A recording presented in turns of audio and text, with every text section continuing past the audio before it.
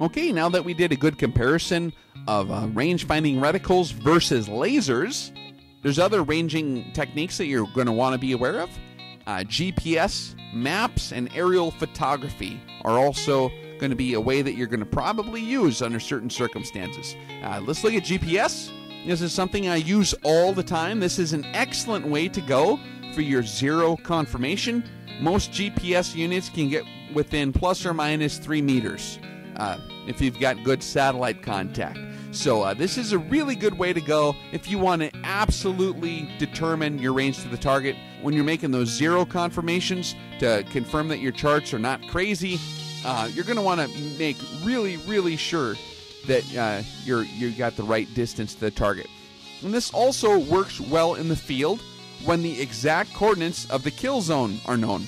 And uh, if your mission planning provides you that information uh, before you go out in your area of operations, then uh, that'll work really good. GPS is one way that works good.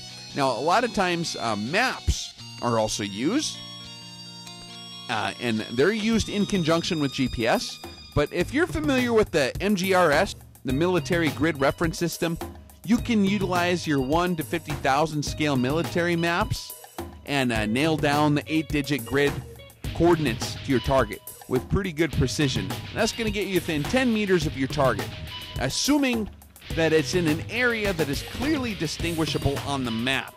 If your target's standing someplace that's drawn out clearly on the map, this should be pretty good. Most of these uh, MGRS maps are real precise. If you have access to them and you know how to use them, uh, then go ahead and use that. If you're using a six figure grid reference system, you're only going to be within 100 meters, so pay close attention to your danger space so that you know how close you need to get with your uh, grid reference. An 8 digit grid reference is going to get you within 10 meters, and the 10 digit is going to get within 1 meter. So, and also your uh, map reading skills are going to come in handy there. Note that, you know, this is going to typically be done in conjunction with aerial photography. Okay, so when you're looking at maps, you're also going to be comparing those with photos from the air during the mission planning phase, and uh, this is something that's a little bit more complicated, requires kind of some desk work. And this is something that you can't really do on the fly in the field. This is going to be a mission planning type deal.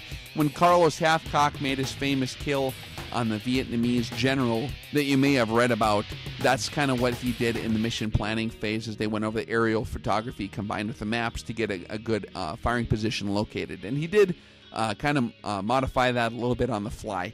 But um, nonetheless, maps are an effective tool when uh, used properly.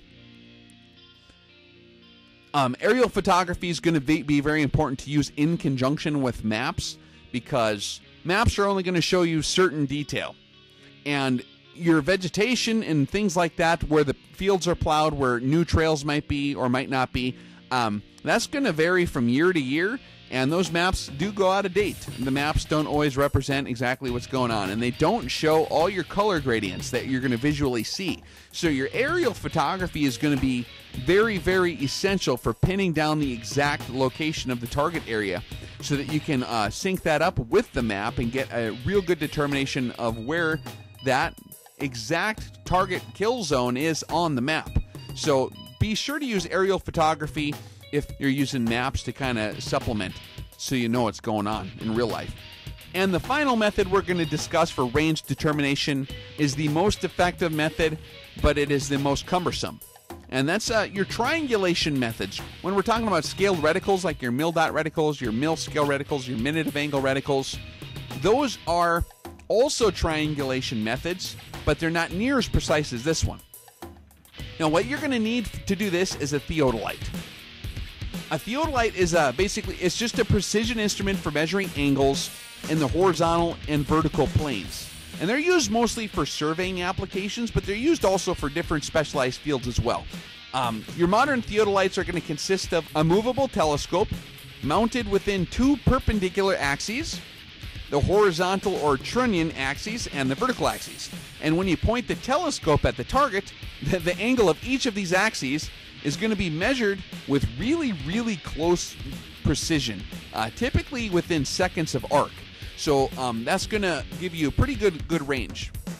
Um, Now, the advantages of, of using a theodolite in the field is that this is going to give you very, very precise ranges to your target. Uh, every bit as accurate as a laser rangefinder if set up properly. And this is totally passive. There's no emitting light from this, and uh, this is the recommended means of range determination for high value, hard target interdiction applications where the enemy is going to be kind of at a heightened state of security, employing every technology available towards warding off all potential party poopers. Okay, so um, there are some limitations. Um, these things are incredibly cumbersome. They're heavy, they're big, they're goofy to carry. Uh, they're kind of expensive. I mean, they're going to cost a few thousand dollars for a used one. If you can find, you're going to want to use the old mechanical theodolites. You're not going to want to use the new digital ones. Um, there are some military ones you can probably find, but um, you're going to have to use kind of the old world ones. Some of them are made by Leica, some of them made by Zeiss. Uh, there's different uh, outfits out there, and they're going to take quite a bit of time to set up and operate. Um, they're going to require a slightly more sophisticated level of trigonometry to operate it effectively, and uh, you're gonna you're gonna have to use a lot of practice to get these set up. Um, you're going to set up a large base on your triangle. You're going to have to have cord out there. You're going to need to get a, a 30 two readings, uh, 30 meters apart, you know, or maybe even 40 meters apart plus to establish a wide base on your triangle. But um, you know, honestly, if you need to use a theodolite for one of your uh, ops, then I, I don't need to tell you anymore because basically you're going to know everything already. So, uh, in summary, when we look at all these different range finding uh, methods, uh, the short of it, you know, short of being a scud hunter for all practical purposes, you're going to want to have the following pieces of equipment at your disposal. Number one, you're going to have your rifle scope with the first focal plane scaled reticle of some kind, uh, either mil based or um, minute of angle based. Number two, you're going to have uh, probably a mil dot master or some kind of other equivalent analog ranging device. Or if you don't have one of those, uh, a, re- a, regular pocket calculator is uh, also going to be needed for other things, anyways. Or a pencil and paper and your brain uh, is a good way to go. That never goes out, hopefully. Although your brain can go out under stress, so it is nice to have the calculator sometimes too. Um, but it's not good to rely on electronics, okay? So analog is always a good way to go. Mil.Master is a great way to go, and we'll show you in a, another a tutorial exactly how to use that. And the next thing that you're going to probably want to have is I would recommend having a laser rangefinder with an effective max range exceeding your cartridge uh, and your load's maximum effective range in less than ideal conditions. I would actually double it. So if you're using a 308, and uh, you only plan to shoot at a thousand meters, I would I would try to look for a two thousand meter rangefinder just to cover your bases because it's never going to work uh, the same as you're going to expect it to work. Uh, now, if you're going to be shopping for a laser for a 408 CheyTac, you're going to have to go with a pretty high end unit. Uh, like I said before, the Vectronix Terrapin is kind of the, the way to go for most of those applications. And the final thing you're going to want to have probably is a really good spotting scope with the ranging reticle. And that's going to be an excellent tool to have. You don't have to have a spotting scope with the ranging reticle, but especially if you have a spotter helping you out, uh, this tool is going to be really good to have uh, for multiple reasons we'll get into when we're actually uh, showing you how to do all this stuff in a little while here. But when you're talking about correcting rifle fire, uh, arranging reticle in a spotter is going to be very, very much worth its weight in gold for you. So, and I'll get into another video showing different uh, options you have with your spotting scopes. The one I like to use, the Optolyth, uh, with the 30 power eyepiece from IOR. It has a scaled uh, a mil reticle in it that you can use for correcting fire, for uh, ranging and such. So that's going to be very helpful. But uh, we'll get into more of these equipment options here after a little bit. But uh, to make a long story short, have those basic pieces of equipment and know how to use them. And we will get out in the field and continue to give you more examples of how to employ all this technology effectively. Stay tuned.